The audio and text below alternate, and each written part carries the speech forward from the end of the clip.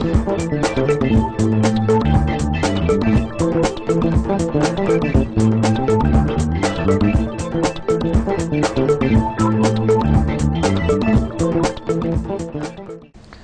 દર્શક મિત્રો, અતિથિમાં ફરી એકવાર આપનું સ્વાગત છે. દર્શક મિત્રો અતિથિ લેવો કાર્યક્રમ જે કાર્યક્રમમાં વિશિષ્ટ વ્યક્તિત્વ સાથે આપને મુલાકાત કરાવે છે અને તેમની સાથે વાતો કરીએ છીએ અંદર આજે અતિથિ કાર્યક્રમમાં અમારી સાથે હાજર છે અમદાવાદ ડિવિઝન, વેસ્ટર્ન રેલવેના Ahmedabad ડિવિઝનના DRM, divisional railway manager Ashok Garud ji. Ashok ji आपका स्वागत है कार्यक्रम में। धन्यवाद। अशोक जी सबसे पहले तो पूछना चाहेंगे कि आप एक टेक्निकल नॉलेज के साथ ही एडमिन की टॉप लेवल की जो पोस्ट दी जाती है एक ड्रीम होता है डीआरएम डीआरएम मतलब एक बड़ा सा इलाका होता है और रेलवे डिवीज़न रेलवे मैनेजर पूरे डिवीज़न का हैंडलिंग करना है। अहमदाबाद डिवीज़न में आपका जब कार्यभार आपको सौंपा गया आपका यहाँ पे ट्रांसफ़र हुआ। अहमदाबाद डिवीज़न को लेके आप क्या मानते हैं कि जब से आपने चार्ज लिया क्या प्रायोरिटीज आपकी होनी चाहिए? व्हाट डू फील यहाँ जो चार्ज लिया हमने उसमें प्रायोरिटी पैसेंजर एम्यूनिटीज और लोडिंग बिकॉज़ जो हमारी अहमदाबाद डिवीज़न जो है वेस्टर्न रेलवे का जो मुख्य करीब 45 परसेंट लोडिंग जो है हम लोग देते हैं। ओके तो नेचुरली लोडिंग जो हमला कांडला और मुंद्रा पोर्ट में है तो उसका सस्टेन रहे और उसमें इम्प्रूवमेंट और आगे रहे तो एक लोडिंग का एक हमारा टारगेट है। तथा फिर स्टेशन के ऊपर जो एम्यूनिटीज़ है पैसेंजर्स के लिए क्लीनलीनेस और कैटरिंग इसमें भी सुधार सुधार लाने की कोशिश में कर रही है। अशोक जी गुजरात ऑलवेज गुजरात ऑलवेज कोई भी चाहे अलग अलग क्षेत्र हो लेकिन अगर जहाँ तक रेलवे की बात आती है, गुजरात ऑलवेज यहाँ से सबसे ज़्यादा कह सकते हैं कि कमाऊ उतर जैसा काम करता है। उसमें भी अहमदाबाद डिवीज़न ऑल इंडिया में अगर हम वेस्ट जोन की बात करें और अगर स्टेट में बात करें वेस्ट जोन में तो गुजरात।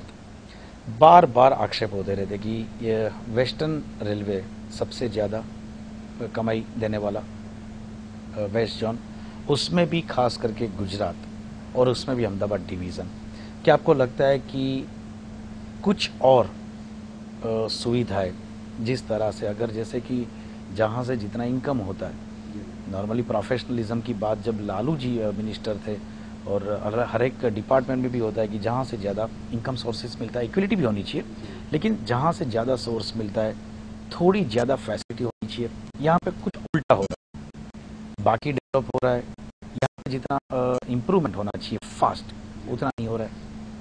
इस बारे में मैं यही कहूँगा कि कुछ एरिया जैसे आप बता रहे हैं जो हमारा लोडिंग एरिया है गांधीधाम एरिया है। तो अभी तो मैं नया हूँ बट मुझे जो फीडबैक मिला है वहाँ पे भी जो हम लोगों ने मीटिंग की थी ट्रेडर से तो उन्होंने ये चीज़ को अभी माना है कि हम लोगों ने गांधीधाम एरिया में थोड़ा ध्यान दिया है वहाँ में सुविधा जो है पैसेंजर्स के लिए भी और हमारे स्टाफ के लिए भी वहाँ पे इम्प्रूवमेंट लाई है। और हमारा आगे भी एफर्ट रहेगा। जो लोडिंग डिवीज़न है तो वो भी जो लोडिंग एरिया है, गांधीधाम एरिया उसमें और भी आगे सुधार लाएँ। सीधा मैं आ जाता हूँ जिस तरह से चुनाव के बाद पाँच साल continue five years super success administration जिस मिनिस्टर ने किया था, वो मिनिस्टर अभी रेलवे डिपार्टमेंट के हेड नहीं है रेलवे मिनिस्टर नहीं है। अभी जाके कोई और मिनिस्टर है, ममता जी है। क्या आप मानते हैं मुझे? मुझे मालूम है कि आप गवर्नमेंट सर्वेंट है। एक जिम्मेदार अधिकारी है। कहीं ना कहीं आप छुपाएँगे किसी बात को। लेकिन मुझे बिल्कुल ट्रांसपेरेंट आंसर चाहिए। दिल पे हाथ रखे। आपको लगता है कि जो सिस्टम बनी थी लास्ट फाइव इयर्स में, क्या वो कंटिन्यू रहेगी? या तो जैसे कि नया कोई मिनिस्टर आता है अपनी सिस्टम अप्लाई करने जाता है, ताकि जो सुधार की एक प्रोसेस चालू हुई थी वहाँ पे ब्रेक आती है डायरेक्शन नया आता है फिर स्पीड पकड़ने में टाइम लगता है। वो डू फील नहीं इसमें ऐसा है कि जो रेलवे की ज़िम्मेदारी है उसमें कुछ इशू बेसिक है। उसमें कोई नया चेंज और हो जाएगा तो थोड़ा बहुत वो मोड हो सकता है बट बेसिक इशू जैसे हम लोगों का है एक तो गुड सर्निंग पैसेंजर्स की जो सेफ्टी है पंक्चुअलिटी है और सिक्योरिटी है। ये बेसिक मुद्दे हैं। इसमें सस्टेन एफर्ट करना एडमिनिस्ट्रेशन का काम है और जहाँ तक चेंज ऑफ़ मिनिस्ट्री या मिनिस्टर है उसमें ये बेसिक चीज़ें तो चेंज नहीं होती है। उसमें प्रशासन को अ, उतना ही ध्यान देना पड़ता है। चाहे कोई भी अगर मिनिस्टर बन के आए, लेकिन जो बेसिक उनकी भी यही प्रायोरिटी रहती है। अगर आप देखेंगे अभी जो मिनिस्टर ने स्टेटमेंट दिया है, उसमें यही स्टेटमेंट दिया है कि कैटरिंग ठीक हो पंक्चुअलिटी ठीक हो सिक्योरिटी और ये मुद्दे तो चल ही रहे हैं। उसमें पहले भी जो मिनिस्ट्री थी उसमें भी ये मुद्दे थे। उसमें कोई मुझे नहीं लगता कोई ऐसे अशोक जी अ, वर्ल्ड की सबसे लॉन्गेस्ट ट्रैक हमारी हिंदुस्तान रेल के पास जी हाँ। फिर भी इतना पुरानी रेल का एक्सपीरियंस है। चाहे वो एडमिन पार्ट से हो या तो टेक्निकल पार्ट से हो फिर भी यहाँ पे बाकी कंट्रीज़ के कंपैरिजन में जो न्यू टेक्नोलॉजीज़ यहाँ पे इम्प्लीमेंट होनी चाहिए वो यहाँ नहीं हो रही है। आप मानते हैं? नहीं इसमें ऐसा है कि इस मामले में आपको बता दूँ कि मैं अभी रिसेंटली जर्मनी इटली और स्वीडन गए थे। नवंबर में मैं गया था और मतलब वहाँ का देख के मुझे जो मौका मिला है आपने जो प्रश्न किया है तो उस रेफरेंस में बता रहा हूँ कि जहाँ तक टेक्नोलॉजी इम्प्रूवमेंट है किसी भी फ़ील्ड में ट्रैक में सिग्नलिंग में उसमें हम लोगों ने बराबर की प्रगति की है। वहाँ की जो टेक्नोलॉजी है, वो हम लोग भी यहाँ ये कर रहे हैं। लेकिन हमारी जो कंस्टेंट है और जो हमारी रिक्वायरमेंट है और जो डेवलप कंट्री की रिक्वायरमेंट है, इसमें काफ़ी फ़र्क है। तो हम लोग बिकॉज़ जो वॉल्यूम हम लोग डील करते हैं, उतना वहाँ डील नहीं होता है। उनकी ट्रेन जो है मतलब खाली रहती है। इतना पॉपुलेशन नहीं है। और जो हाई स्पीड की बात आप कह रहे हैं, उसमें कुछ इशू है कि उतने स्पीड के ट्रैक की ज़रूरत है हमको। और अगर उस टाइप का ट्रैक है, उसको, जिसको डेडिकेटेड कॉरिडोर है हाई स्पीड का, उसकी ज़रूरत है। क्योंकि हम लोग अभी जो कॉरिडोर पे चलाते हैं, उसमें गुड्स ट्रेन और पैसेंजर ट्रेन मिक्स चलती है। तो उसमें फिर स्पीड की रिस्ट्रिक्शन आ जाती है। कहीं ना कहीं उसके लिए सेपरेट ट्रैक अगर होगा तभी जाके टेक उसकी जो जोग्राफी टेक्नोलॉजी हैं वो भी अलग रखनी पड़ेंगी जैसे कर्व कम रखने पड़ेंगे स्ट्रेट okay, okay. फिर ग्रेडियंट फिर ब्रिज मतलब पूरा डिज़ाइनिंग जो है उस जिसके लिए ज़्यादा खर्चा आएगा उसमें मतलब आपको आपका आपको आपके आपके हिसाब से कि इस हमारे कंट्री के जिस तरह से ज्योग्राफी या तो जिस तरह से अभी एग्जिस्टिंग सिस्टम है उसमें सडनली स्पीड को इंट्रोड्यूस करना जो अभी बहुत जल्दबाजी होगी इसके प्रॉपर प्लान चाहिए लेकिन उसके अलावा जो इश्यूज है उसके लिए बात करेंगे छोटे से ब्रेक के बाद दर्शक दोस्तों, स्वागत है, बहुत अच्छे खाना खिला रहा हूं।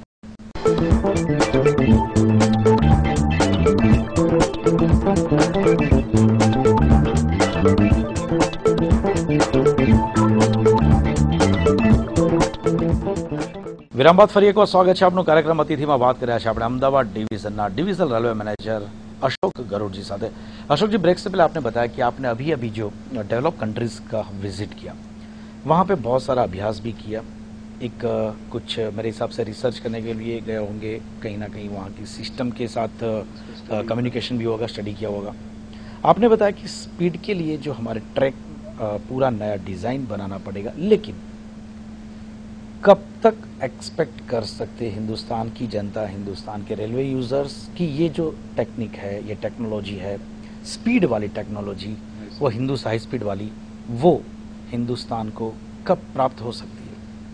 नहीं, इसमें ऐसा है कि मुद्दा जो है, अभी जो हमारा प्रेजेंट ट्रैक है, उसकी जो कैपेसिटी है स्पीड के हिसाब से उसको हम एक्सप्लॉइट कर रहे हैं जितना हम उसको रेस कर सकते हैं क्योंकि जैसे मैंने बताया कि कर्वेचर का ग्रेडियंट का लिमिटेशन है जो प्रेजेंट नेटवर्क है उसको अगर हाई स्पीड नेटवर्क कर- करना है तो उसमें पूरा सिस्टम चेंज करना पड़ेगा सिग्नलिंग ट्रैक तो हमारा एफर्ट है कि जो एग्जिस्टिंग में कुछ स्पीड वहाँ तक ले जाए।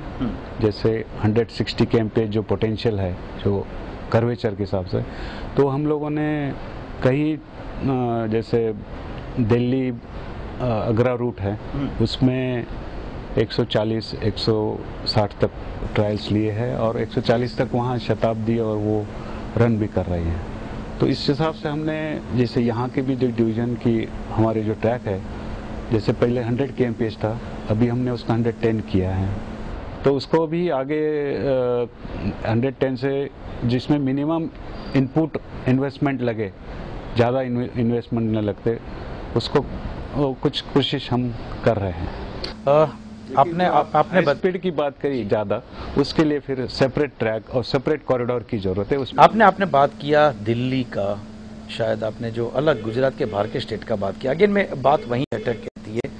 जब भी डिक्लेयर होता है रेल बजट में जब भी कोई फैसिलिटीज़ होती है तभी कितने सालों से यही एक आक्षेप लगा रहता है रेलवे मंत्रालय पर कि गुजरात के साथ हर वक्त अन्याय होता है।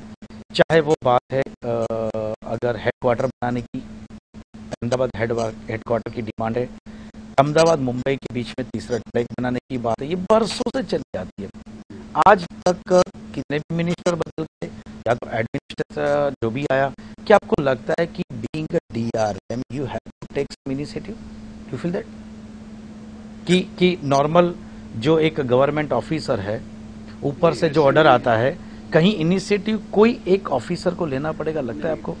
जो आपने बात कही कि जो नेटवर्क का इम्प्रूवमेंट है जो ज़रूरत है इस डिवीज़न की उसके बारे में हमने ज़रूर कुछ अ, अभी मेरा एक महीने का ही समय हुआ है उसमें ज़रूर कुछ हमने प्रपोज़ल सोचे हैं। और बिकॉज़ ये डिवीज़न जो है आप पता है कि ये गुड्स लोडिंग डिवीज़न है। जी। तो गुड्स ट्रैफ़िक का इम्प्रूवमेंट कैसे हो इसके ऊपर ज़्यादा हमारा थ्रस्ट है। पैसेंजर पैसेंजर पैसेंजर का जो स्पीड रेजिंग मैंने बताया कि 100 का 110 कर रहे हैं जो स्पीड रिस्ट्रिक्शन की वजह से जो जगह जगह असुविधा हो जाती है ट्रेन को उसको इम्प्रूव करने के लिए हमारा एक्शन प्लान है जो स्पीड एग्जिस्टिंग सिस्टम में ये बढ़ा सकते बढ़ा सकते। सुविधा की बात करें अगेन अशोक जी सुविधा के लिए क्योंकि हाँ इतना तो मानना पड़ेगा। मेरे हिसाब से हिंदुस्तान और खास करके गुजरात में बात करें तो ये तो मानना पड़ेगा कि सुविधाएँ पहले से थोड़ी बेहतर है। लेकिन अभी भी अ, कौन से कौन से खास करके एरिया ऑफ़ इम्प्रूवमेंट्स है जिसमें आपको लगता है कि यहाँ इससे भी बेहतर हो सकता है? मैं पैसेंजर की सुविधा के बारे में बात कर रहा हूँ। पैसेंजर की सुविधा के जैसे अपने स्टेशन से अहमदाबाद है गांधीनगर है साबरमती हैं तो मुझे लगता है कि ये तो कंटिन्यूस प्रोसेस है सुधार का। वन टाइम तो नहीं है। अभी आपने गांधीनगर का स्टेशन देखा होगा, इतना बड़ा बनाया है। कंपेयर टू ट्रैफ़िक मतलब काफ़ी अच्छी सुविधा है। और हमारे यहाँ पे भी इम्प्रूवमेंट प्लान है अहमदाबाद के लिए। और कुछ फ्यूचर भी इम्प्रूवमेंट प्लान है कि जैसे अगर ये कुछ गेज कन्वर्शन हो जाता है अहमदाबाद महसाना का तो हमारा यहाँ का एम जी टैग जब कन्वर्ट हो जाएगा तो वहाँ पे जो सेकंड एंट्री जो है उस तरफ़ से हम देने का प्लान कर सकते हैं जिसमें कंजेशन कम हो जाएगा ट्रैफ़िक का। और ये साबरमती भी एक स्टेशन टर्मिनल स्टेशन करके तो प्रॉपर अहमदाबाद का लोड ज़रा डिस्ट्रीब्यूट हो जाएगा तो यहाँ की सुविधा जो अभी कंजेस्टेड या ओवर क्राउडेड है उसमें इसी तरफ़ से हमने पलन, पालनपुर और भी जो स्टेशन है महसाना। अशोक जी न्यूसेंस वैल्यू के हिसाब से रेलवे डिपार्टमेंट बरसों से बदनाम होता हुआ है।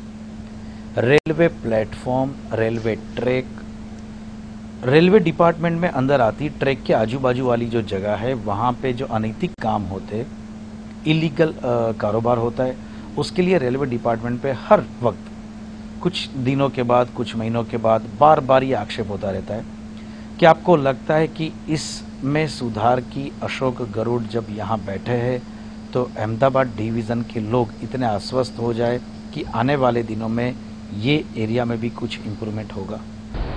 नहीं, ये बात आपने सही कही, इस एरिया में ज़रूरत है और जितना, क्योंकि ये इशू जो है थोड़ा लॉ ऑर्डर से भी कनेक्टेड है विद दी स्टेट गवर्नमेंट तो हमारे जो फोर्स है आरपीएफ। उसको हमने इंस्ट्रक्शन दिए हैं इस बारे में कि जो एंटी सोशल एक्टिविटी जो स्टेशन एरिया में है तो उसको कंट्रोल करने के लिए by by way of putting surveillance और बीच बीच में अ, जो रेड्स वगैरह करके सो सिविल पुलिस से भी उसका कोऑर्डिनेशन रखते हुए उसके लिए हमने आदेश दिए हैं और मुझे उम्मीद है कि कुछ उसमें सुधार ज़रूर होगा। जहाँ तक गुजरात की बात आती है और अहमदाबाद रेलवे स्टेशन की बात आती है अ, कभी भी थ्रेटन कोई मैसेज आता है तो ज़्यादातर और या तो कोई पड़ोसी देश में कहीं पे भी कुछ हादसा होता है या तो हिंदुस्तान के कोई भी इलाके में होता है सबसे पहले जो भी संवेदनशील जगह डिक्लेयर की जाती है उसमें अहमदाबाद शहर भी आता है। और बिल्कुल स्वाभाविक है कि अहमदाबाद रेलवे स्टेशन भी संवेदनशील उस जगह पे आ जाता है। सुरक्षा के मामले में, जिस तरह से सीसीटीवी लगा है, लेकिन उसको मॉनिटर करने वाला कोई नहीं है। या तो सीसीटीवी जितने लगे, उतने काम नहीं करते। क्या आपको लगता है कि अहमदाबाद रेलवे स्टेशन के साथ साथ गुजरात के आपके डिवीज़न में जितने भी आते हैं, वहाँ पे ये सब सुरक्षा के उपकरणों का प्रॉपर मॉनिटरिंग होना या तो इससे भी और कोई सिस्टम लगा जानी चाहिए या तो आप मानते हैं कि अभी जो फ़िलहाल है एग्जिस्टिंग सिस्टम वो सही है? नहीं अभी जो हमने सिस्टम लगाया है अहमदाबाद में अहमदाबाद स्टेशन में तो आ, इस आज की स्थिति में ठीक है उसको कुछ इम्प्रूवमेंट करेंगे जैसे हमको तो यू फील जो भी है अभी वो एडिक्वेट है? अभी एट प्रेजेंट उसको कुछ हम ऑब्ज़र्व करेंगे उसके बाद उसको सुधार लाने का जो भी स्कोप है। उसमें सुधार लाएंगे उसमें आरपीएफ की जिस तरह से जो तैनात होती है वहां पे नंबर्स ऑफ एम्प्लॉयज जो आरपीएफ के होते हैं आपको लगता है उसमें भी बढ़ोतरी करनी चाहिए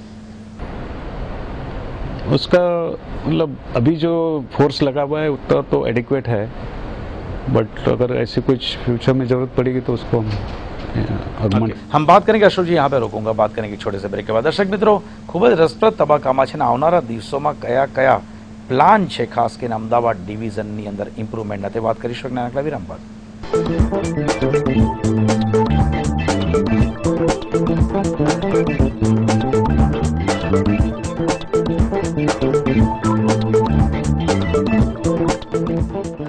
વિરામ फरी एक बार स्वागत है આપનું कार्यक्रम अतिथि में बात करा है अशोक गरुड़ जी साथ। अशोक जी ब्रेक से पहले आपने बताया कि अभी तक आपको लगता है कि यहाँ पे जो भी सुविधा है, खास करके सुरक्षा उपकरणों की, वो एडिकेट है।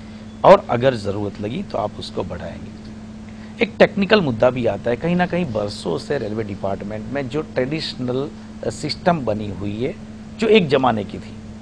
अभी आज बदलने की ज़रूरत है। एक एग्ज़ाम्पल देता हूँ। जैसे कि अहमदाबाद में आया हुआ गांधीग्राम रेलवे स्टेशन वो भावनगर डिवीज़न में आता है।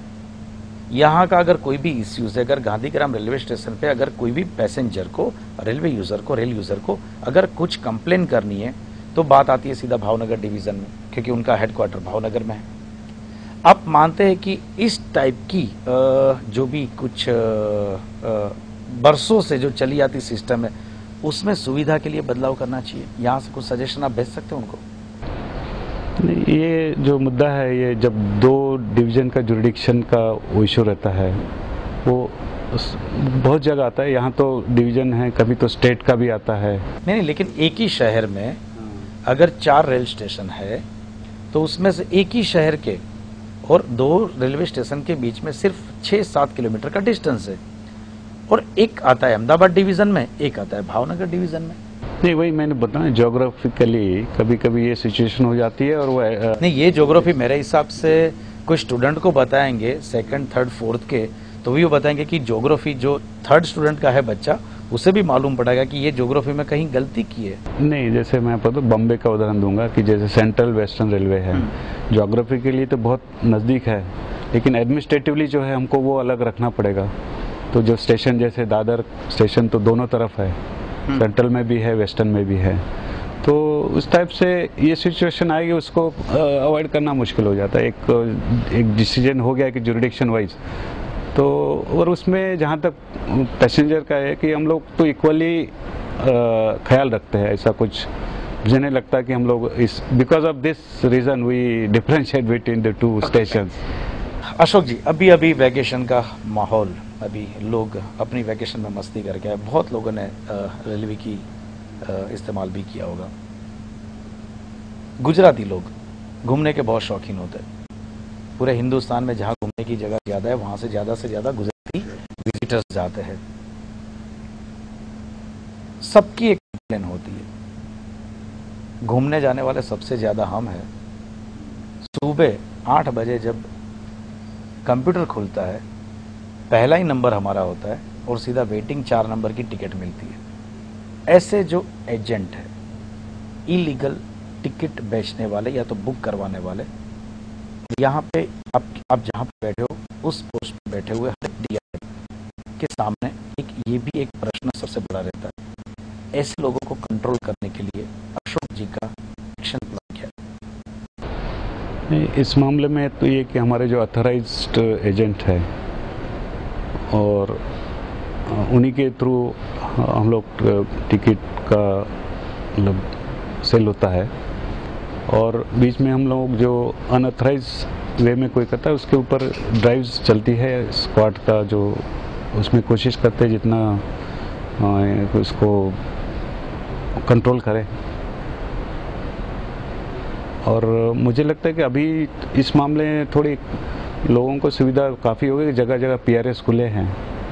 अभी तो जैसे हम लोगों ने इवन पोस्टल की भी ऑफिसेस का यूज़ करते हुए उनके सो दैट लोगों को ज़्यादा ये डिस्टेंस का भी ये हो, जैसे भी अम्बावाड़ी में सानंद है, सिद्धपुर है, यहाँ के पोस्ट ऑफ़िस में भी हमने पीआरएस दिए हुए, वो अभी शॉर्टली कमीशन हो जाएँगे तो उस एरिया के लोगों को अप्रोचेबिलिटी हो जाएगी। तो इसमें ये भी एक इनडायरेक्ट मेजर है to to control the illegal sale तो इससे और भी कुछ स्टेप्स है, हम लेंगे। आपसे पहले जो भी आए हार्ड स्टेप्स करीबन एक दो ऑफिसर हैं, बहुत हार्ड स्टेप्स जैसे खास करके जो इलीगल कुलीज जो वहाँ पे होते थे, उनके बारे में एक ऐसा अहमदाबाद में एग्ज़ाम्पल प्रूव किया था कि तरह से भी हो सकता है। क्या अशोक जी का वर्किंग कैसा वर्किंग स्टाइल कैसा है? कि बहुत बोल रहे थे या फायरिंग ज़्यादा होता है, बहुत नज़दीक आपके आजू बाजू आपके अ, नीचे हाथ वाले या सबॉर्डिनेट्स आते नहीं है। आप सबको एक साथ में लेके करना चाहते हैं अ, हाँ मेरा मे, मेरा एफर्ट तो वही रहता है। मैं जहाँ भी काम करता हूँ नॉर्मली क्योंकि ये तो टीम वर्क होता है। तो टीम जब तक आपके साथ में नहीं है तो आपको एंड रिज़ल्ट नहीं मिलेगा। तो एक ट्रांसपेरेंसी क्लैरिटी भी होना चाहिए डाउन बिलो तो उसमें मुझे लगता है कि वो ज़्यादा इफ़ेक्टिव होता है।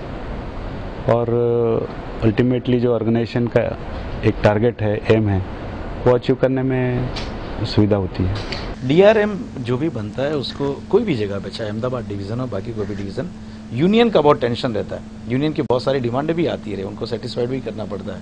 कैसे हैंडल करेंगे अशोक जी यूनियन को? नहीं मैंने फ्रैंकली बताऊँ कि जैसे हम गुवाहाटी में जब हमको पता लगा था कि हमारा अहमदाबाद पोस्टिंग हुआ है तो एक जनरल इम्प्रेशन जो वहाँ पे भी है जो आपने सवाल किया उसमें तो ये है कि इस फ्रंट पे ज़्यादा दिक्कत नहीं होगी। यहाँ के जो लोग हैं जिसमें तो हमारे यूनियन के भी आते हैं स्टाफ भी आता है आप लोग भी है तो बड़े पॉजिटिव एटीट्यूड के हैं। तो उसमें जो भी समस्या होगी तो उसमें सुलझाने में ज़्यादा कठिनाई नहीं आएगी क्योंकि हम तो अभी जैसे ईस्टर्न सेक्टर से काम करके आए हैं। यहाँ से भी बहुत सारी विपरीत यहाँ तो मुझे रिलीफ ही फील हो रहा है और उसमें कोई ज़्यादा कठिनाई नहीं आना चाहिए। ओके okay, अशोक जी इस बजट में क्या आपने यहाँ से डिमांड या तो आप क्या चाहते हैं कि इस डिवीज़न के लिए क्या कुछ डिक्लेयर किया जाए? मुझे मालूम है कि ये सीधा आप इनका जवाब देना ये पोस्ट पे अच्छा भी नहीं लगेगा लेकिन फिर भी चाहते हैं कि बेसिक इतना इतना तो मिलना चाहिए। नहीं इसमें जैसे आपने सही कहा कि ये हमारे जो बस प्रोग्राम है वो यहाँ नहीं डील होता है। हाँ हम लोग कुछ प्रपोजल कुछ हाँ प्रपोजल मैं प्रपोजल की बात कर तो प्रपोजल में हमने कुछ एक दो प्रपोजल के बारे में सीरियसली ये किया है। एक तो जैसे अहमदाबाद महसाना जो गेज कन्वर्शन है जो अभी काफ़ी सालों से पेंडिंग है। अगर ये हो जाए तो इसका फ़ायदा डिवीज़न को ज़रूर होगा कंजेशन जैसे मैंने पहले कहा था कि एमजी निकल जाता है तो एक सेकंड एंट्री भी जो है अहमदाबाद स्टेशन को मिलेगी। और कुछ गुड्स ट्रैफ़िक जो है जो कोई बाईपास लाइन जो है सो गुड्स ट्रैफ़िक यहाँ न एंटर करे सीधी बड़ौदा निकल जाए। ओके तो गुड्स बाईपास के लिए भी हम लोग मतलब अभी ये गया नहीं बट एक विचार है कि ये अगर होगा तो अच्छा रहेगा। और बाकी भी जो गुड्स डबलिंग के प्रपोजल हैं उधर अ, गांधीधाम मतलब तो उसमें प्लेस प्लानिंग स्टेज में है उसको थोड़ा और मूर्त स्वरूप लाना पड़ेगा। ओके अशोक जी और खास करके अगर बात बताए हम पर्सनल थोड़ी बात करते हैं आप यहाँ पे आए हैं और क्या कौन आइडल थे आपके आपकी लाइफ में? नहीं जैसे डीआरएम पोस्टिंग जो है एक रेलवे वन के लिए एक बड़ा माइलस्टोन रहता है अचीवमेंट जो करियर का सबसे महत्वपूर्ण अचीवमेंट माना जाता है। जिसमें सिस्टम को कुछ आप इम्प्रूव करने का या कुछ देने का सोच सकते हैं। तो उस हिसाब से ये पोस्टिंग पे आने के बाद एक हमारे मन में भी कुछ ड्रीम्स है, उसको कुछ सफल करने की कोशिश करेंगे। Who is idol in your personal life personal life में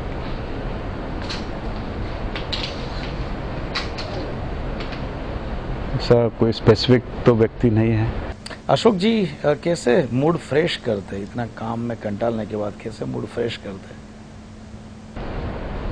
इसमें मैंने कहूँगा कि थोड़ा मैं स्पिरिचुअल में इंटरेस्ट रखता हूँ। ओके तो मेडिटेशन एक मेरा रवैया ये है कि for getting the relaxation through meditation and of course some entertainment watching T V and news paper reading that relieve you from the work pressure मेरे हिसाब से आप मेडिटेशन है तो साथ में सॉफ्ट म्यूज़िक का भी शौक होगा आपको। जी हाँ बिल्कुल सही कहा आपने। म्यूज़िक का है uh, जो ओल्ड म्यूज़िक है। फेवरेट सिंगर तो वैसे किशोर कुमार के म्यूज़िक हमको ज़्यादा अच्छा किशोर कुमार का सबसे पसंदीदा गाना कौन सा था? एक आपकी कसम का गाना है। करवटे ज़िंदगी के सफ़र में गुजर- जाते जो। थोड़ी एक आपकी आवाज़ सुनना चाहेंगे मैं तो कोई सिंगर हम कोशिश कर लेंगे हम सहन कर लेंगे। नहीं नहीं। थोड़ा सा एक एक एक लाइन। ज़िंदगी के सफ़र में गुजर जाते हैं जो मकान वो फिर नहीं आते वो फिर नहीं आते thank you very much Ashokji thank you very much દર્શક મિત્રો જોયું તે પ્રમાણે અશોક ગરુડે કે બિલકુલ એક એવી પોસ્ટ ડીઆરએમની પોસ્ટ એમણે કીધું તે પ્રમાણે કે એક ખૂબ જ મહત્વની પોસ્ટ કારણ કે એક આખું ડિવિઝનને ધ્યાનમાં રાખવાનું હોય છે એડમિન સાથે સાથે ઘણા બધા પ્રશ્નોનો સામનો પણ કરવાનો હોય છે ને. એમાં પણ જ્યારે ગુજરાત જેવા વિકસિત રાજ્યની અંદર જે અપેક્ષા પણ વધુ હોય છે, તેવી જગ્યાએ ડીઆરએમ બનીને આવ્યા છે અશોક ગરુડીને આશા રાખીએ આપણે કે અશોક ગરુડજીના જે પણ ટેન્યોર છે તેની અંદર અમદાવાદ ડિવિઝનનો ઘણો બધો વિકાસ થાય અને રેલવે યુઝર્સને મહત્તમ ફાયદો થાય. અગેન થેન્ક્સ અલોટ ફરી મળીશું નેક્સ્ટ એપિસોડમાં એક નવા અતિથિ સાથે. ત્યાં સુધી આપશો નમસ્કાર. Thank you